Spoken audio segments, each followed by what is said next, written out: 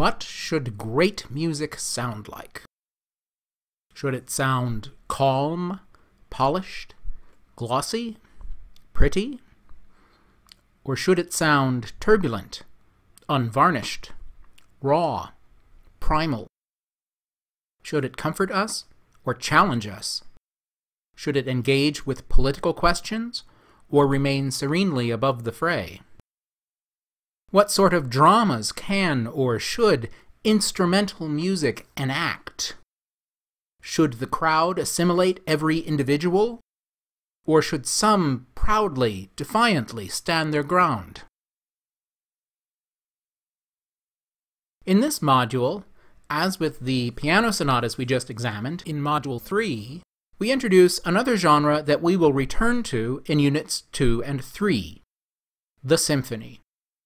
Every major city in Europe and its former colonies either hosts or aspires to host a permanent, full time professional orchestra.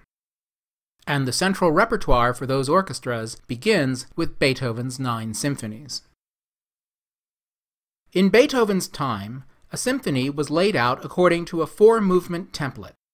The same three movement types you learned for the sonata template including the Sonata Allegro template for a sonata's first movement, plus a new inner movement, usually the third movement, but sometimes the second, called the menuetto, or scherzo.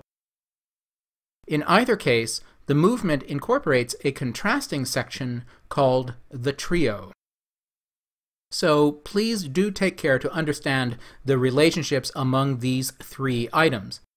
Most of all, keep in mind that it's a choice between the labels Menuetto and Trio or Scherzo and Trio. Time is limited, so in this course, we will not systematically study Beethoven's string quartets. But if they interest you, it's helpful to know that in Beethoven's time, the string quartet genre shared the same four movement template as the symphony. So, although the instrumental sounds of a string quartet differ dramatically from those of an orchestra, you can take everything you learn about the norms and expectations of listening to a symphony and transfer it to the chamber music context of a string quartet. We also briefly examine two unfamiliar but important influences on Beethoven's symphonic style French military music and the operas of Luigi Cherubini. Then, we will consider the questions why is Beethoven's Second Symphony significantly more interesting than his first? And how does it foreshadow his subsequent towering achievements in the symphonic genre? Lastly, in wrapping up Unit 1, we will examine how ideas about music's purpose were changing during Beethoven's lifetime, and how those changes contributed to a tension between his goals of achieving widespread fame and maintaining his standards of artistry.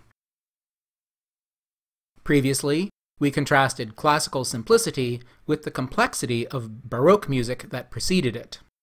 Now, we turn to the contrast between classical restraint and the emotional turmoil of the Sturm und Drang movement that foreshadowed the Romantic era of the 19th century and the aesthetic contrast between the merely decoratively beautiful versus the awe inspiring, overwhelming sublime.